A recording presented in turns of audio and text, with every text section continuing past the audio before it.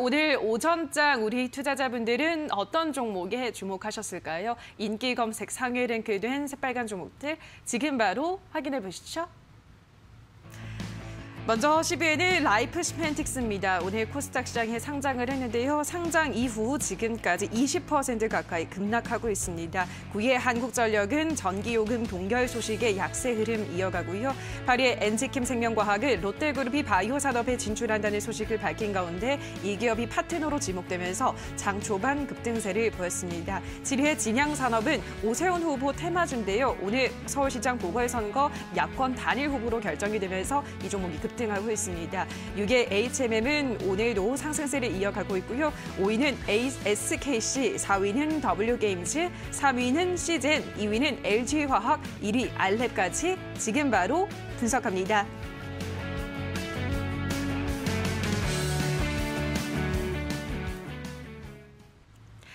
네, 지금부터는 100% 리얼입니다. 한 포털 검색창에 실시간으로 올라오는 글을 보면서 전문가 종목 분석까지 들어보도록 하겠습니다. 오늘은 홍프로 홍광표 전문가와 함께합니다. 전문가 안녕하세요. 안녕하세요. 네, 오늘의 5위부터 만나보도록 할게요. 오늘의 5위는 SKC입니다. SKC가 지난 8일 전 회장의 횡령과 배임 이슈로 매매 정, 어, 매매 거래가 정지가 됐었는데요. 이번에 매매 거래가 재개가 됐습니다만 오늘 이 시각 5%가량 빠지고 있습니다. SKC는 앞으로 다시 한번 고일까요? 스탑일까요? 네, 스탑입니다. 알겠습니다. SKC는 스탑 들면서 토론방 지켜보도록 하겠습니다. SKC에 대한 의견입니다. 13만 원대 보유 주주인데 어떡하지? 진짜 내년까지는 버텨야 해. 눈앞이 캄캄하다. 외국인들도 공포 물량 털고 다시 돌아올 거다. 내려갈 때 한 주라도 더 사두는 게 이득이지. 추가 매수하고 싶으면 조금만 더 기다려라. 분명히 9만 원까지 내려간다. 그때 사야지라고 하셨습니다. 첫 번째 게시글부터 볼게요. 13만 원대 보유하고 있으신 분입니다. 아, 좀 고점 부근이죠. 자, 어떡하지? 눈앞이 캄캄하다라고 하셨는데 SKC 전문가님 일단 스탑을 뒤셨습니다. 어떻게 전망하고 있으세요? 일단 오늘 거래 재개된 건 좋은데 네. 지금 여러 여러 가지로 SK는 악재입니다. 왜냐하면 어, 지금 SK 지금 이노베이션 같은 경우도 LG화학이랑 소송을 하고 있고 그 부분이 해결이 돼야 되고 그리고 음. 지금 회장 그 전 회장 관련해서 또 횡령 문제도 있고 그러니까 제가 맨날 말씀드리는 게 있습니다. 무슨 사고가 나면 그 사고가 일단 다 끝나야 됩니다. 그러다 진행되는 부분이기 때문에 저는 뭐 제가 기준에서 보는 가격으로는 어, 좀더 추가 하락하면 10만 원 이탈하면은 안정되지 않을까 약간 그런 생각도 아, 하니까 그래. 참고하시기 바라겠습니다. 알겠습니다. 10만 원 이탈하면 그래 그때 안정 구간이다라는 말씀이세요? 네, 240선 음. 근처가 10만 원 살짝 이탈했을 때 가격인데 아. 그쯤 선이 아무래도 지지선 아닐까 싶습니다. 당장. 네, 알겠습니다. 자, 그럼 다음 게시글을 보면요. 외국인들이 공포 물량을 털고 다시 돌아올 거다. 그때 아, 내려갈 때 한 주라도 더 사두는 게 이득이다라고 하셨는데 뭐 최근에 전해진 소식은 SKC가 이제 말레이시아 당국과 함께 동박 동박 사업 첫 해외 생산 거점 구축에 나선다라는 소식이 전해져 왔는데 또 2차 전지 관련해서도 엮여 있잖아요, 전문가님. 어떻게 보세요? 그 일레코일 동박 얘기인데 음. 그 부분은 원래 시장에서 다 알려져 있었던 거고 음. 말레이시아에서 아마 위치 문제 때문에 말이 많다가 지금 확정이 된 건데 네. 다 아는 내용입니다. 아. 그래서 주가에 벌써 적용이 돼 있는 것 뿐이고 음. 그 공장 완공되면 아마 순위 안으로 들어갑니다. 동박이 지금 일진 머트리어라고 몇 가지 종목들이 있는데 그 중에 이제 SKC도 이제 다른 회사를 인수하면서 순위로 들어가는 건데 그 부분이 다 적용돼 있는 겁니다. 음, 알겠습니다. 이미 뭐 알려진 소식이기 때문에 더 이상의 어떠한 기대감은 없다라는 의견이신 것 같은데요. 다음 게시글 보면 추가 매수하고 싶으면 조금만 더 기다려라. 분명히 9만 원대까지 내려간다. 전문가님이랑 비슷한 의견인 것 같거든요. 9만 원까지 내려가면 그때는 매수해도 괜찮을까요? 일단 만약에 그 정도까지 내려가면 반등은 한번 나올 거로 보고요. 그리고 또 음. 하나는 이제 지지선이 확정된 상태에서 들어가야지 그냥 들어가면 요즘 최근 시장 자체가 그렇기 때문에 조금 좀 지켜보시는 투자하시라 말씀드리겠습니다. 네, 알겠습니다. SKC 확인을 하셨고요. 자, 다음 종목도 만나보도록 할게요. 오늘의 4위는 W게임즈입니다. 어, W게임즈가 자회사 더블다운 인터액티브가 미국 나스닥 상장 재추진한다는 소식에 이 시각에 17%가량 급등하고 있습니다. 자, 이 종목은 앞으로도 고일까요? 스탑 일까요? 고입니다. 알겠습니다. W게임즈는 고 외치면서 토론방 지켜보도록 하겠습니다. W게임즈에 대한 의견입니다.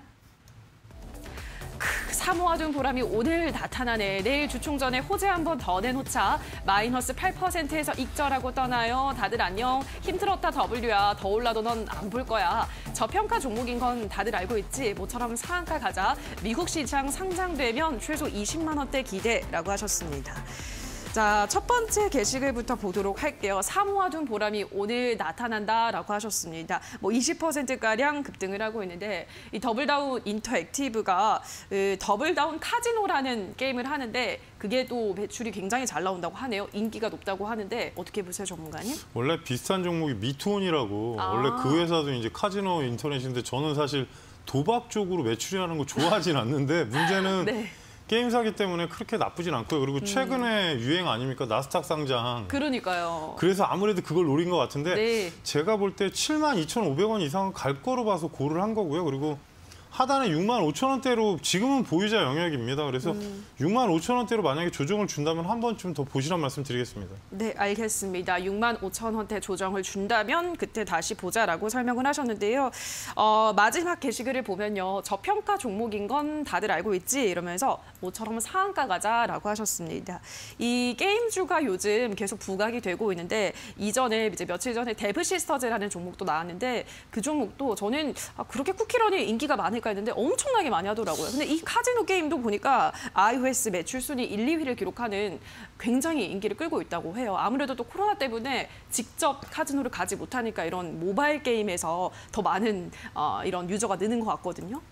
일단 뭐 카지노가 이제 해외에서는 음. 허가가 나 있는 상태고 네. 국내에서는 이제 금전이 왔다 갔다 하는 거 불법입니다. 근데 네. 이제 더블게임즈가 워낙 지금 매출 대비 영업이익이 엄청납니다. 그 작년이 거의 2천억 가까이 네, 영업이익이 나기 때문에 지금 시총이 1조 전후에서 오늘 상승했기 때문에 그래도 음. 한참 저평가인데 대부 시스터즈는 사, 사실 약간 세력성으로 올린 거고 실적이 그만큼 나오진 않습니다. 근데 아, 인기가 순위로 해서 주가가 올라간 거고 음. 더블게임즈 같은 경우는 원래 실적도 기본 베이스는 나오는 회사라 일단 저는 많이 올라가면 7만 5천 원대까지 일단 보여서 말씀드리는 겁니다. 네, 알겠습니다. 일단 그렇다면 지금 구간에서 목표가는 7만 5천 원 정도로 잡으라는 거죠? 네, 돌파되면 상담 보면 되는데 일단 음. 제가 뭐 좀 이따가 나오는 LG화 보면 음. 할 얘기 많지 않습니까? 알겠습니다. 7만 5천 원 목표가로 설정을 해드렸습니다. 이어서 다음 종목을 만나보도록 할게요. 오늘의 3위는 씨젠입니다. 오늘 진단키트 관련주들의 흐름이 좀 좋네요. 동반 강세 흐름을 보여주고 있는데요. 자 씨젠 지금 이 시각에 4%가량 올라가고 있습니다. 앞으로는 고일까요? 스탑일까요? 제가 사실은 마음속에는 고인데 음. 일부러 스탑으로 가겠습니다, 어, 이 정도. 알겠습니다. 씨젠 스탑 들면서 토론방 지켜보도록 하겠습니다. 씨젠에 대한 의견입니다.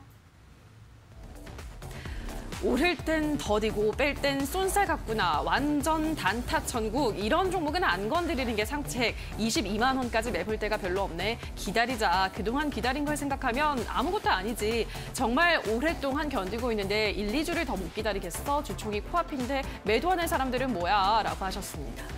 자, 시즌을 보도록 할게요. 22만 원대까지 매물대가 별로 없네라고 하신 분이 있거든요.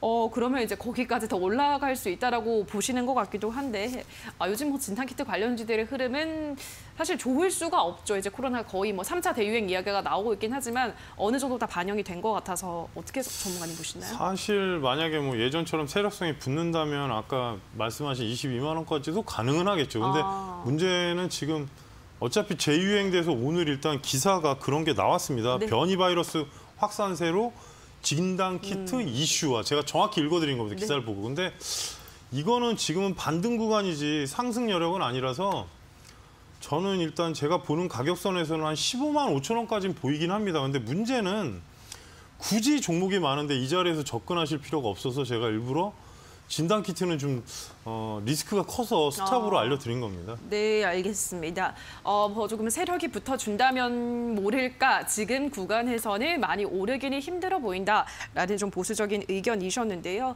자 마지막 게시글 한번 볼게요. 정말 오랫동안 견디고 있는데 1, 2주를 다 못 기다리겠어 하시는 분도 있거든요. 자, 보유하신 분들은 어떻게 대응을 해볼까요?